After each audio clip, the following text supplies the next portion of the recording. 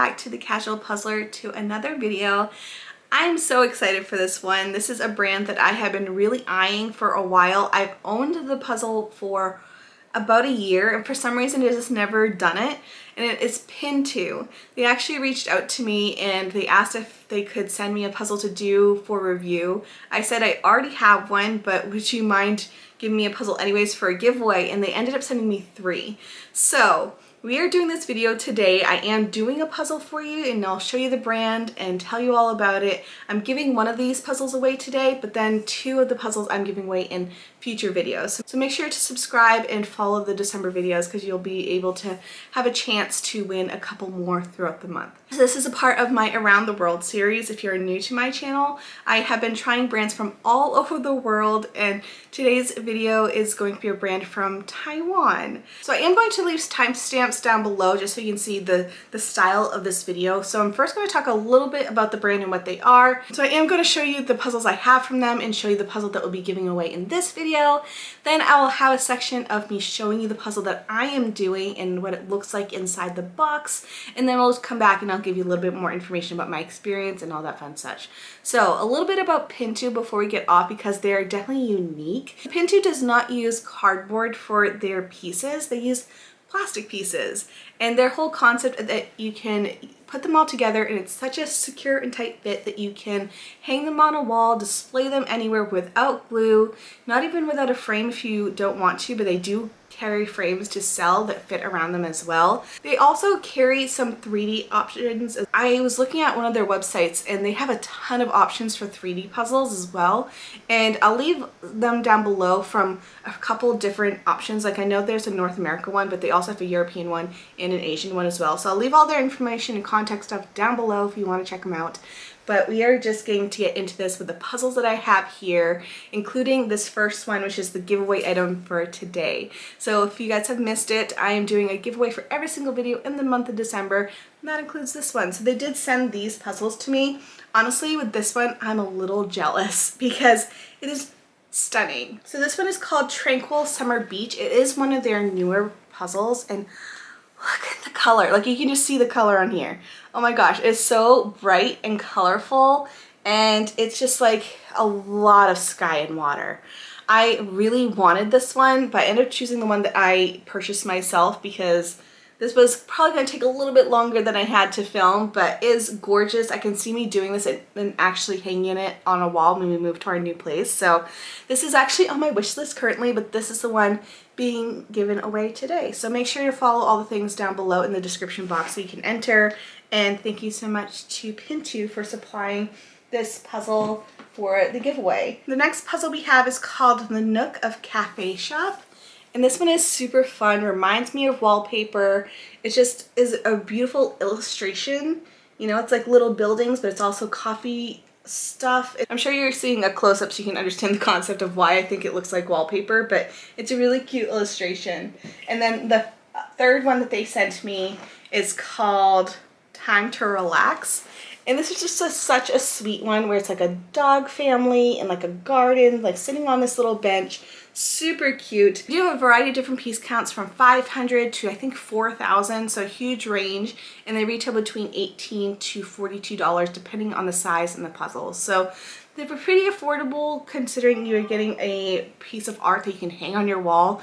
And so we are just going to go over the final puzzle that I have to mention, which is the one I'm doing in this video, which is the one I purchased. Like, look how cute this one is.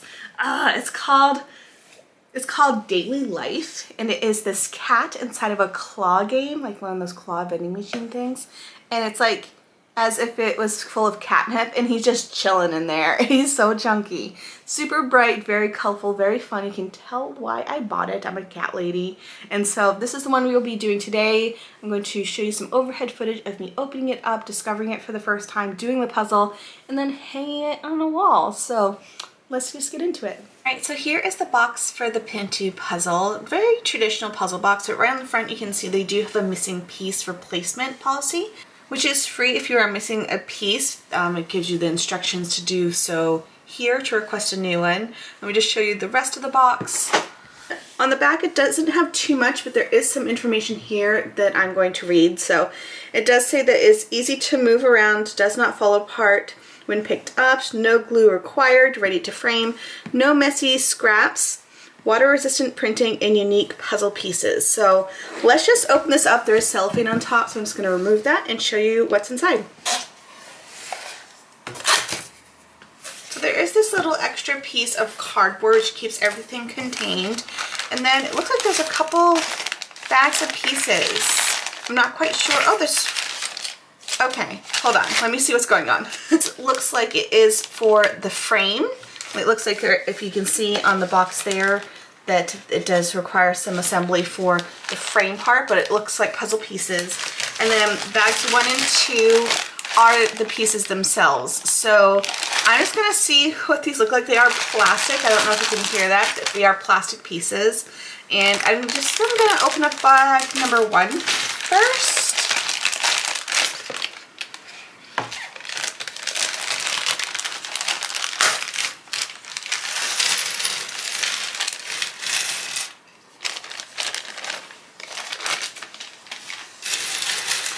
So the first thing off the bat I'm noticing is how bright they are, at least for this puzzle. They are extremely bright pieces, traditional puzzle shapes, and they are plastic, so they're nice heavy duty plastic. Um, relatively small in size, but I'm not too mad about that because the quality seems really nice. And yeah, I'm really excited about this. It looks like really fun pieces really bright colors. Like this pink is just like calling to me. So it does look like they have no edges in here. The edges are these guys. Um, so that's something to mention, but you can tell where the edge is because it has like this like divided color. So it's color in the, the white little line. Um, so you can tell like which are the edges of the puzzle, but it doesn't have like a flat edge because that's what these are because these are the frame pieces. Um, so I'm just gonna start working on this. If I have anything to mention, I'll let you know. But so far, I'm excited. Um, it just looks, it's such, it's unique, you know? It's, I'm just gonna dive into this. All right, a few things that I'm noticing right off the bat is one, it is super fun and satisfying to put in these pieces. They are super secure, like completely flat so I can pick up like full sections or at least like a lot of pieces at a time, which is really cool.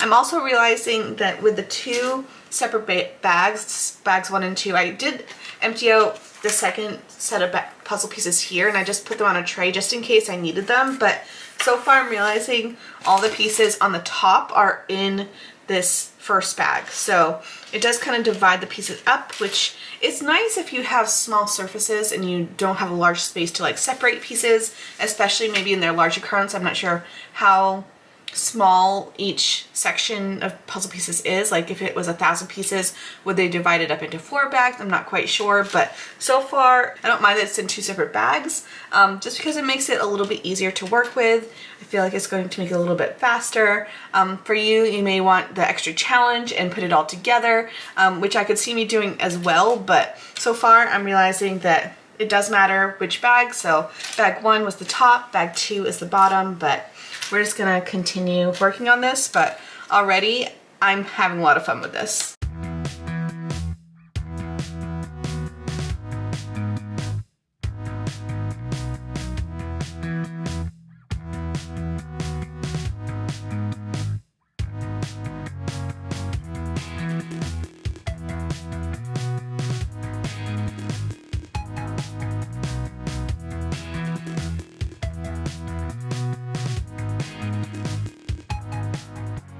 Now we're touch base, I'm loving this. Like look how secure these pieces are. Like this whole section, no issues. Um, super satisfying to put in the puzzle pieces. There's like a nice clip to it and it's been so much fun. So this already, I'm like having a blast. Um, so I'll continue on, but just so you know, it's, it's a cool experience.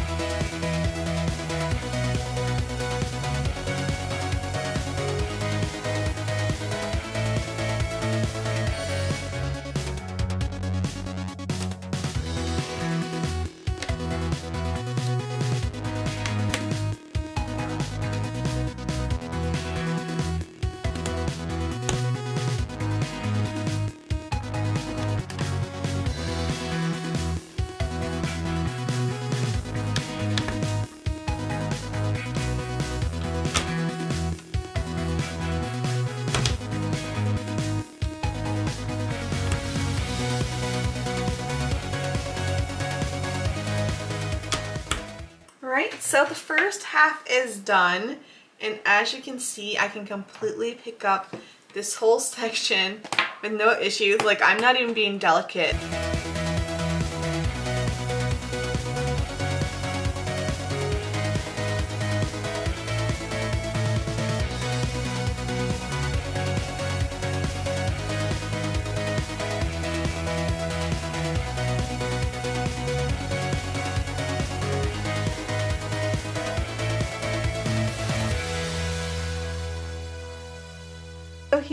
The final image.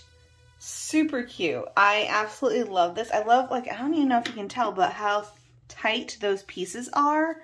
You can even, like, tell on the backside where it's, like, you can barely see that some of them are puzzle pieces. I mean, I feel like I could do, like, a rolling pin and just, like, smooth everything out, but isn't that crazy? So now I need to go find a place to hang this so you can see, so you can see if it works. But I can completely like do whatever with this guy. And it's like crazy. Anyways, I'm going to put it on this hole here, this nail. I'm going to put it on this nail here and see if it works. It may be something that you need like two to like keep it level, but we're just going to test this baby out. Eh, it kind of works. What do you think? That's a puzzle? It's a puzzle. That's crazy. That is crazy. Um, All we need is a small earthquake.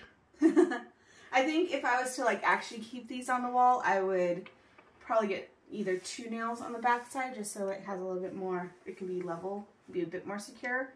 Or you can actually like put get frames for these from them and then you have something else to hang it up with. All right, we are back and as you can tell, I think this is like the coolest thing. I was trying to keep my cool in the intro because I had already done the puzzle, but it was hard. It was it was such a cool experience, definitely a unique experience for me. Kind of reminded me of my 3D puzzles because I do have some plastic pieces with those. And it's just so satisfying when you're putting in the pieces, especially with these ones. I didn't have a single false fit this whole entire day. Like it was so incredible, it was so satisfying to put those pieces in there. So it's just like that really loud click when you had the pieces like get into place. And I love the fact that it's like completely flat and you can easily hang this on a wall like somewhere. So it is a brand that I'm really curious about and I already was looking at their Amazon list because I was like, oh my gosh, I want more from them. And so I even told Dave, I was like, when we get our house, I'm gonna get one of these puzzles for my puzzle room. He's like, okay. So it was a really cool experience. And I think for the price point, it's a great option if you are someone who likes the idea of hanging a puzzle, but don't necessarily want to glue your puzzles. It's cool that they are able to kind of do that without the glue, without the mess, without the hassle, and it's just done. You know, you do the puzzle, it looks beautiful, you hang it on the wall and it's done. Um, or you can just take it apart and redo it later on, but I think for me, when I'm looking at these puzzles, it's definitely more for like an art piece versus doing them as like a puzzle, if that makes sense. They're just really fun. They're just a really good concept and I really am enjoying this brand. I am actually putting this one on my Christmas wish list. I already did. I put it on my Amazon wish list because this one is just beautiful and I love doing sky. So I have a feeling I am going to love this one, but I'm excited that one of you can actually win it. So make sure to follow down below. Make sure to give them some love down in their Instagrams. Again, they are kind of, they are sold in a bunch of different countries, so I'll leave as much as I can down below about the brand. If you have done any of their puzzles, please let me know down below if you've had similar experiences or a puzzle that you think I would enjoy because I am so torn of which one I want to do next. They have some really cool images, and I am brutally honest. I don't lie. And so I really don't have a fault for this brand right now, and that's very rare. Um, I guess Maybe it's the fact that some of the piece sizes don't have frames available on Amazon. That's about it. um, I, I think it's just because they're sold out. So when things are sold out, they just don't post those products. That's possible that what's happening. Um, but other than that, like, I love it. I loved it so much. I was telling Dave the whole entire time like how much fun I was having. Super bright and colorful, love the fit, love the concept. Great time. Anyways, hope you like this video. If you are interested in buying them, I'll leave my Amazon link down below. It does give me a little bit of a kickback to help support my channel, but if not, totally cool. Thank you so much for being here and I will see you guys in the next video. Bye!